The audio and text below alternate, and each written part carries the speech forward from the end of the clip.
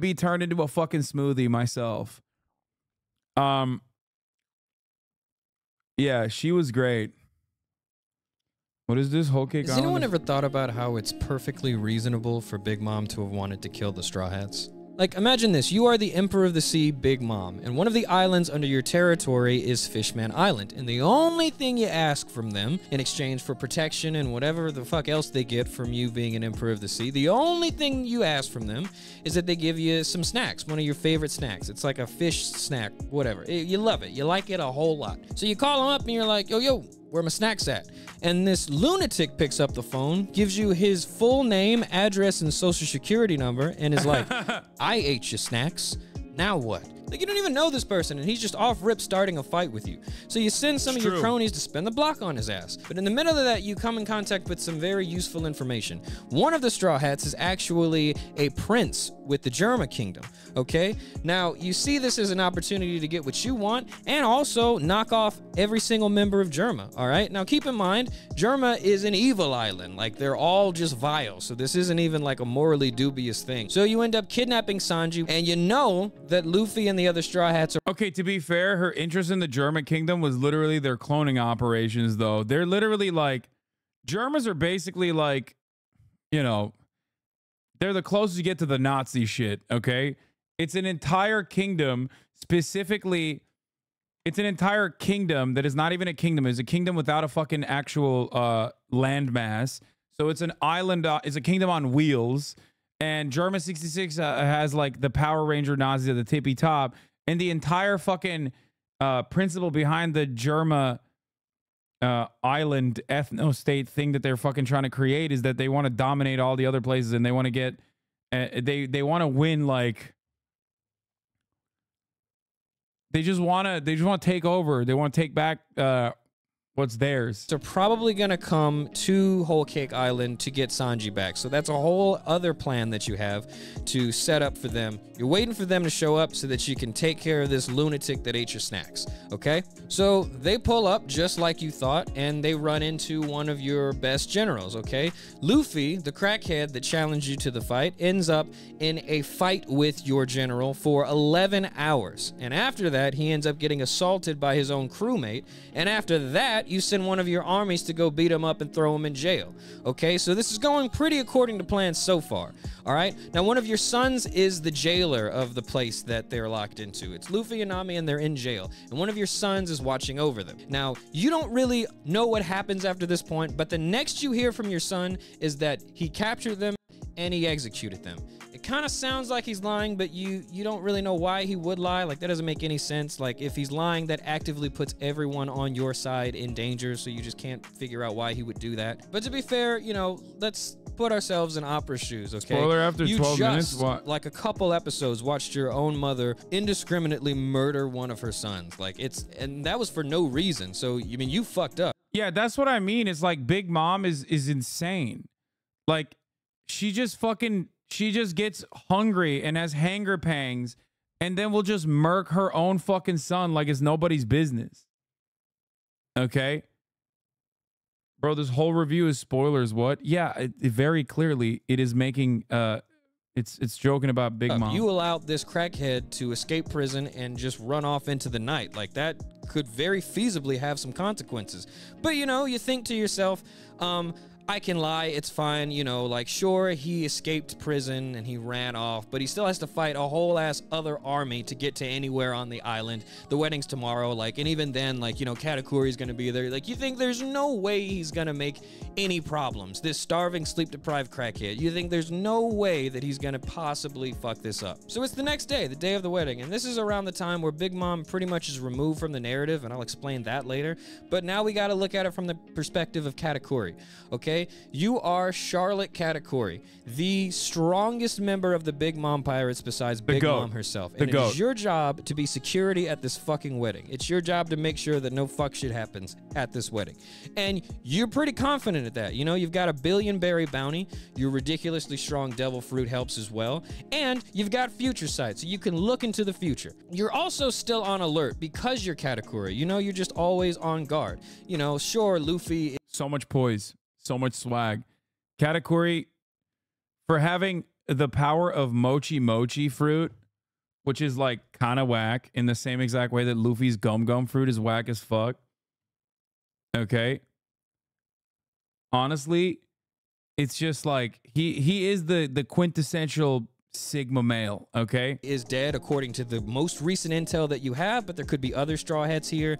There could be somebody here that wants to try and hurt me or my mother or anybody else. You don't really know what you're looking for, but you're on guard. But either way, the last thing you were expecting was this starving, sleep deprived crackhead to jump out of the wedding cake and start whooping everybody's ass. like that is not you did not see that coming. You're so startled that when you just randomly access your future sight to make sure that everything's going to go right, when you see this happen, when you see 100 starving sleep deprived crackheads jump out of the cake, you are so fucking flabbergasted that it takes you extra long to process it. You can't even do anything about it. Like there was time to do something about it, but because you don't quite know what the fuck's going on, you just you're frozen. Someone has to ask you, "Yo, cat, you okay?" And you're like, "I something's about to happen." I that's all I can say. Get ready. So 100 starving, sleep deprived crackheads jump out of the cake and just start beating everybody up, like just assaulting everyone in sight. And you understand, like, It's not too whack due to it being Logia. Like the mochi isn't like the wax fruit, is straight up a Logia. So I wouldn't say it's like the gum fruit where initially you don't have many benefits. I guess. Okay, I won't watch after the 12th minute. All right, this is probably like a trap or a trick or something. Wait, Either way, it's like, not a Logia? there can't really be 100 Straw Hat Luffy's. Like, that's not a thing. We got to find the real one. I think it's it's just like Luffy's is just like Luffy's fruit, isn't it? I, I felt like it was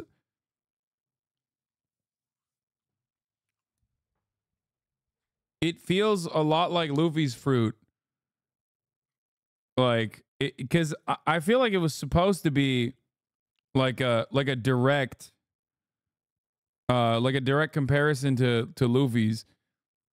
And when you when you hit him and he like changes his body a little bit, it's in the same way that like when you hit Luffy because he's gum, it doesn't hit, it doesn't actually like penetrate him. You know what I mean?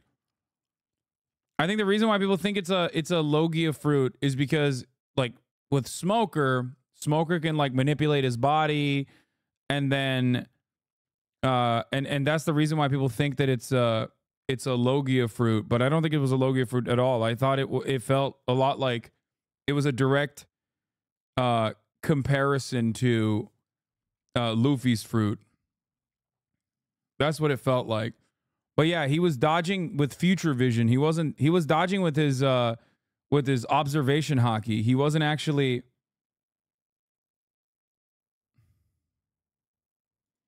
one. So someone yells out, Anyway. "Show yourself, Mugiwara!" And you're like, "All right, that's a good start. Like other people are catching on to what we need to do, but there's no way he's going to, you know, announce himself in the crowd and ruin whatever plan that they've got." And to your surprise, this starving, sleep-deprived crackhead, the real starving, sleep-deprived crackhead, raises his hand, tells you his full name, address, and social security number, and says, "Now what?" It's at this point you immediately understand this motherfucker is dangerous. All right, you your eyes lock and you're like, "Fuck everything else going on. It's me and you. I have to deal with you. I, it's got to be me because if if I don't, I'm scared no one else is gonna." So you devote all of your attention to this lunatic that has now just announced himself to you. So you start fighting him a little bit, but in the middle of that, because you focused all your attention on Straw Hat Luffy, one of his crewmates manages to exploit your mother's one and only weakness. Now, this is a weakness that pretty much turns her into a rampaging monster, effectively pretty much ending her role in the plot and reducing her to a plot device for the entire arc. You don't know how they're gonna stop her, but the emphasis is on they. They have to deal with that bullshit. You look at your mother right in her eyes and go, "Yeah, that's you know, you got a lot of sons and a lot of daughters. I I'm taking care of the crackhead that broke into my sister's wedding. You guys have fun. Um, Sorry, this is what I came here to do. I'm wedding security. This guy's got to go. Sorry. So you chase the crackhead out of the wedding. All right, but somewhere along the line, it looks like he has kidnapped two of your sisters. Now, your sisters have two really powerful devil fruits. One of them lets you go into the mirror dimension, and the other one lets you alter memories. You don't know what this starving, sleep deprived crackhead is going to do with those two devil fruits, but the potential alone scares the shit out of you. You mobilize even more people. Like, we got to stop him. Oh my god. Oh, oh, the other part where I also teared up was when Pudding uh at the end. Oh God, I'm getting I, I I'm getting goosebumps thinking about it. Pudding at the end when she walks up to Sanji and takes the cigarette out of Sanji's mouth and then kisses him and then takes his memories out and cuts them and wipes his memories so that Sanji will then continue on his journey with the with the straw hats instead of like constantly worrying about her because Sanji is a massive simp. It's so sad. Oh my god. Oh, it's so it's so sad. The other part of the story that's also very sad is Pedro. Pedro is such a sick character. He's such a fucking cool character. Uh, but I very quickly got angered when I very quickly got angered because Pedro, uh, you know, he he he goes out like the the brave mujahideen warrior that he is, but then at the end of the day, he allowed them to escape in that moment, but he still only took out Candyman's arm. You know what I mean? And it sucks that like I mean, I know his time was I know his, his time was up, right? I know I know he was gonna die. But the fact that he wasn't able to like the fact that he wasn't able to to at least take him out completely, it made me so mad. It made me so mad that his sacrifice wasn't in vain. But that fucking piece of shit candy clown. He he got he got away. I don't I don't know what's gonna happen, but we gotta we gotta, we gotta end this shit right now. So you chase him all the way to the ship. All right, you start beating up any of the crew members that you can, and you you know that they can't beat you. So you think, all right, so it looks like this is finally over. Like let's end this. And then this lunatic grabs you, throws you into the mirror world, and then jumps in after you, and then he breaks the exit. He seals off the exit. So that so let's really put yourself into Katakuri shoes okay? You have chased this starving, sleep deprived crackhead out of your sister's wedding after he just assaulted everyone there. And then, after thinking that you have him cornered, he straight up says, I'm not locked in here with you. You're locked in here with me. And then gets ready to fight. You are terrified. You understand better than anyone in One Piece at this very moment just how dangerous Luffy is and that you need to take him seriously. He starts fighting, you start fighting, he starts trying to transform. You're like, no, fuck that. I'm not even gonna give you time to do that shit. I know I can beat you, so I'm just gonna fucking end this shit. You beat him up and you use your devil fruit powers, your awakened devil fruit powers, to bury him in Mochi. Now you say to yourself, no one's ever escaped my Mochi. So this is a bit of a spoiler, I guess, but the awakened devil fruit powers, I suspect, is like what uh, Doflamingo has, right? Like when Doflamingo is able to manipulate everything around him and like turn everything around him into the strings. Like I feel like that's the final stage of your devil. Uh, that's that's the final stage of your devil fruit powers, right? Like where you can basically alter the environment around him according to your um, uh, alter the environment around you uh, according to your power. He's done. It's over. It's fine. We should be good. So you clock out for your lunch break. All right. You go and you start eating some donuts. Seven minutes later, that crackhead has broken the door down and he starts trying to fight you again. You're like, how are you? Wh- why? Why? Can you give me like 30 minutes, bro? Please. How the fuck? How are you even still here? And Luffy simply explains, oh, I, I just ate the mochi. So you have now fed this crackhead, giving him more energy to keep fighting you. So you keep beating his ass, all right, until finally he runs out of haki and he's like, oh, fuck, I need 10 minutes. And you're like, well, fuck that. I'm not going to give you 10 minutes to keep this up. For the record, that was my favorite part. That was my favorite part of that fight because it's so stupid that Luffy is always able to get away and like breathe for 10 minutes so he can come back with haki again. And like, that was the one time he's like, no, motherfucker, what do you mean? I'm not letting you get away with this shit. What, what the fuck? What do you got? Plot armor? Which he do she still does end up getting away with it, but it's still like at least there's an attempt there. So that's good. You know? I'm ending this. So you start chasing him around the mirror dimension until he runs into your sister, which controls the entrance and exit of the mirror dimension. You think, oh no, this is horrible. He takes her hostage and he flees. You go, fuck. But low key, you're kind of relieved. You know, you're 48 years old. You can't be fighting for 11 Okay, that's the other part that's like crazy. I didn't know Katakuri was 48. hours like that, you know? The sun is going down. So that means you've been chasing this crackhead around the island like all day. So you get your breath and you start looking for a way out, and then 10 minutes later, guess who you see? But that lunatic, that crazy ass crackhead coming back to run the ones with you. You almost shed a tear, you're so tired. Yeah, it's the third secret type, by the way. Brulee is the third secret type of woman that Oda likes to draw. Okay. The the two types of women that Oda likes to draw are like impossibly sexy and impossibly ugly and nothing in between. Or the secret third type of woman that Oda will draw is literally impossibly sexy body and then like the impossibly ugly face built on top of the impossibly sexy body. And Brulee and that doctor uh, also fits that bill. It's just so funny. You are so old and so tired. So you keep beating him up until something starts happening. All right? He starts closing his eyes as if he's trying to anticipate how and when you're throwing hands. You're like, what? Are you trying to be a Jedi? Knock it off. Oh, what is this? What is Charlotte Amande? Impossibly sexy. That's so dumb. What a question. Yeah, no. Charlotte Amande is on the impossibly sexy side. Yeah, she's the throat goat, dude. What are you talking about? Uh, next question. Yeah, look at that neck.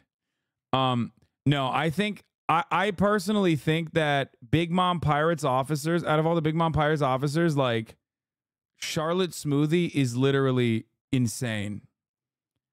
Like she didn't have to go that hard. Okay. Like Oda did not need to draw her in the way that he did, but he chose to do it anyway, and it fucked me up. Okay. There you go. This is once again the classic sexy body, but then also what the fuck's going on there?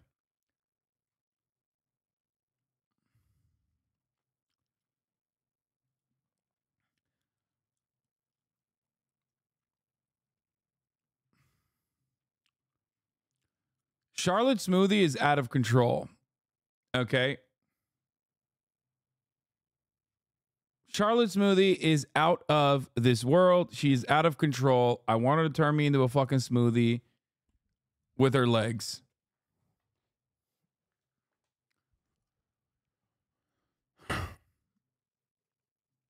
She also looks like she also basically looks like she's from a different anime the entire time, which I thought was really funny. Like when she has that hat with like the one uh like you can only see the one eye, she literally just looks like she's from a different anime. And she was just like propped in there. She looks like she does not fit in One Piece, okay? I don't know how else to describe it. There's a lot of like JoJo coded characters in this universe, but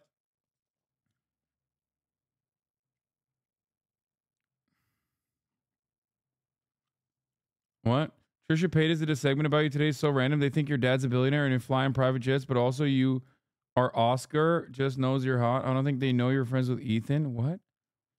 Trisha Paytas did a segment about me and said my dad's a billionaire and I fly in private jets. The one time I flew in a private jet was with Trisha Paytas, and it was a David Dobrik private jet.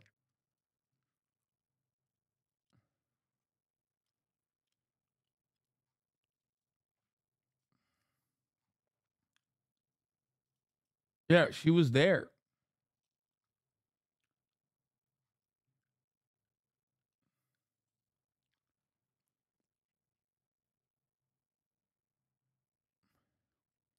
Charlotte Charlotte Smoothie's role is so shit in the story. Private your Twitter, a fucking storm is coming. Wait, what?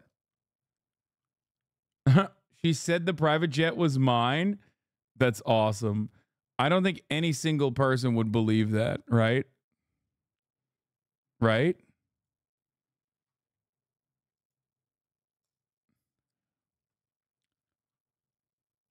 They're trying to turn the gaze against you. Yeah.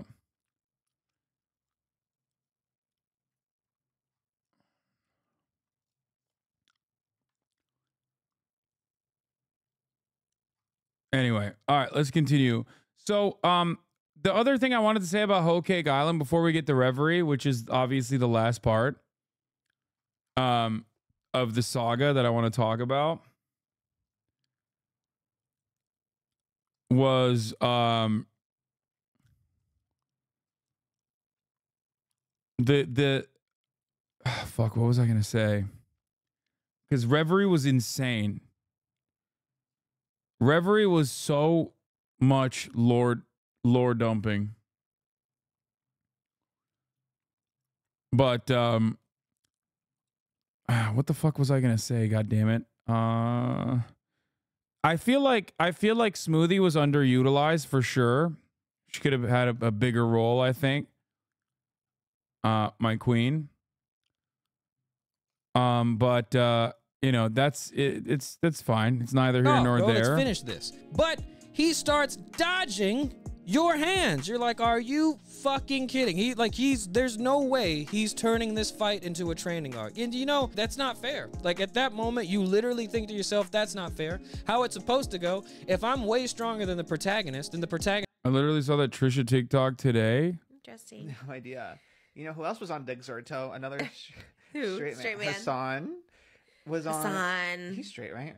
I have no I idea. don't know either. Who? What? Who are we talking about? Um, what's his last name? Piper. What's- Moses knows him. Oh, oh, the oh, yes, yes, I Young like- Turks. And he's Twitch streamer. I'm like Moses is. yes. Oh, yeah.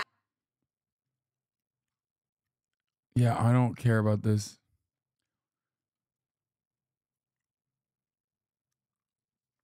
Um, you guys are real perverts, dude. Drama perverts.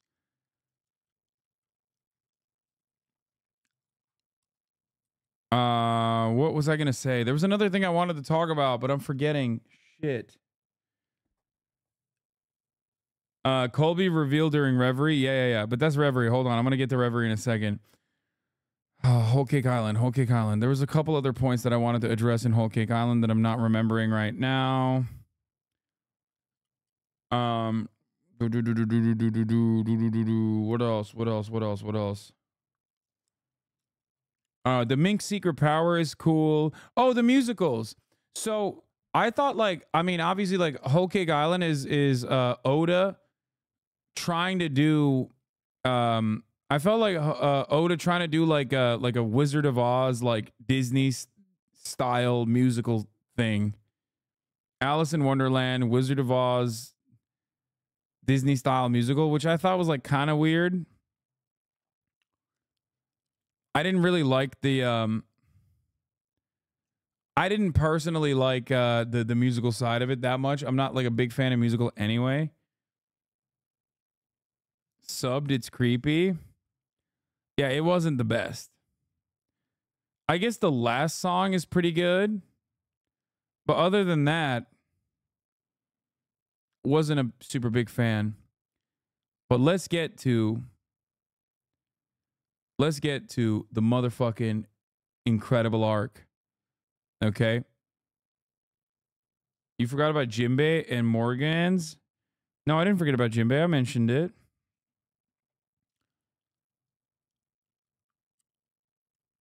Um, Loki music has always been important to One Piece, though.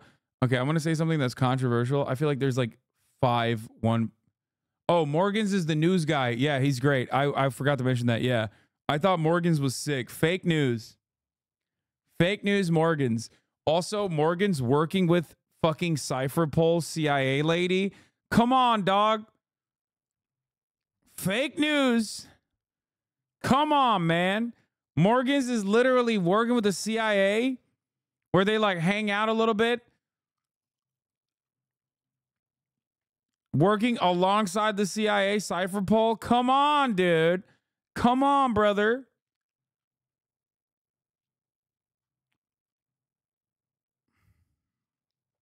Anyway, big news media mogul news making fake news. Yeah. Also, bird and birds ain't real. All right. Anyway, not political though. One Piece is not political. Oh, uh, the thing I was gonna say about One Piece music is they're controversial, but like, there's five songs, dude. There's literally like only five different songs for like 1,000 million episodes. We need more songs. They're all bangers, fine, but like, dude, come on, dude. The first time I heard a new song was the entry into Wano with the sitar. Holy shit. Up until then, it's literally fucking five songs. And I'm being nice when I say five songs. There's, in reality, there's three songs, and then sometimes they play two additional bangers. And that's it. It's so crazy that this ep- this fucking show this goddamn show has literally had five whole songs for 1000 episodes sure they're great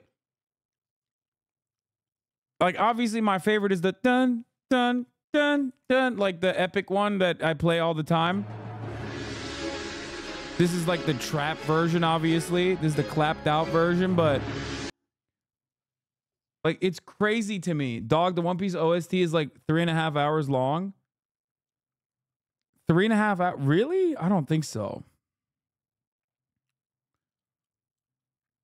Bump, bump, bump, bump, bump, bump, bump. Bum, bum, bum, bum, bum. Bum, bum, bum, bum, bum, bum, bum. To be fair, Toei still uses sound effects that were used in the original in 1989 Dragon Ball and One Piece. They are a shitty ass animation studio. Yeah. It's just like.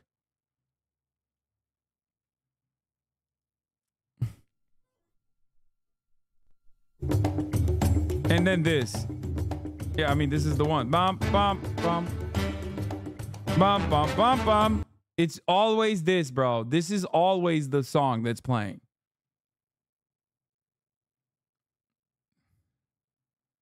Music of One Piece. More than 100. Wait, what? More than 100 musical CDs have been created in the media, media franchise? I don't believe it. I don't fucking believe it.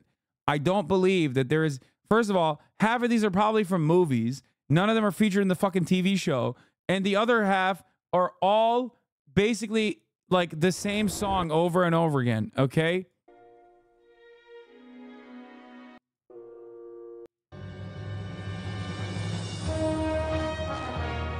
Yeah, this is this is another goaded one. Yeah, there's a lot of one-offs, but the re- but the ones they play all the time are the same fucking songs, dude.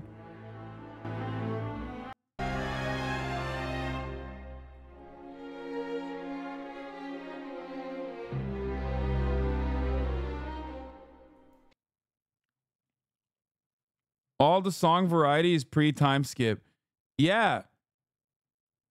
It's nuts. Oh, and it, this probably counts the opening songs too. The intro songs don't count. I'm talking about the soundtrack. Okay? It's almost always the same theme with like some variety on the same theme.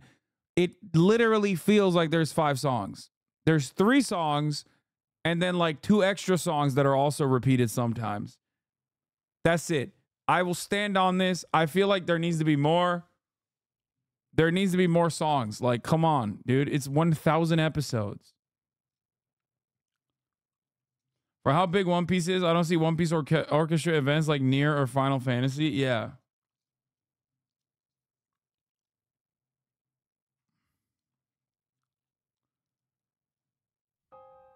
Yeah, and then this. Who could forget this?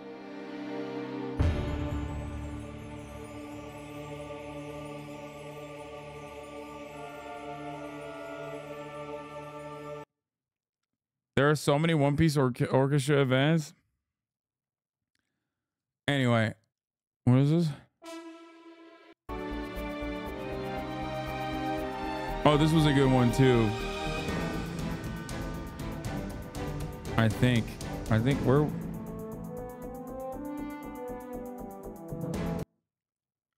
Anyway.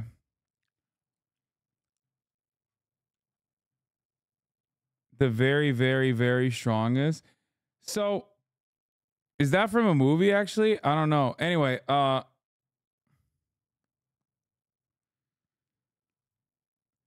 anyway, listen, listen, listen. All I'm saying is more songs is a necessary thing for One Piece. Okay, it'd be it'd be nicer if there was more than fucking five songs.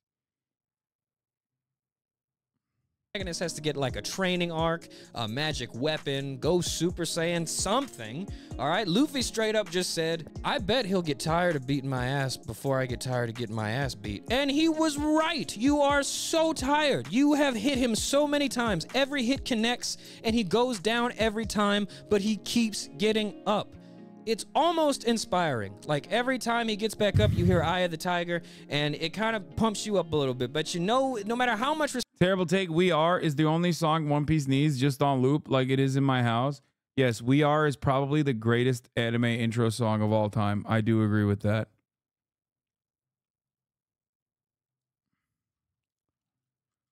For sure.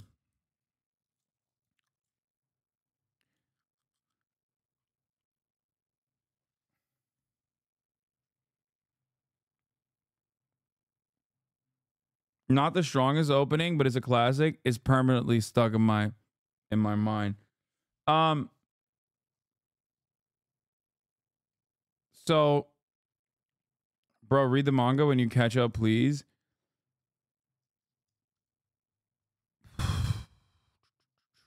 Anyway, I don't want to watch the rest of this because you said that he has spoilers in here.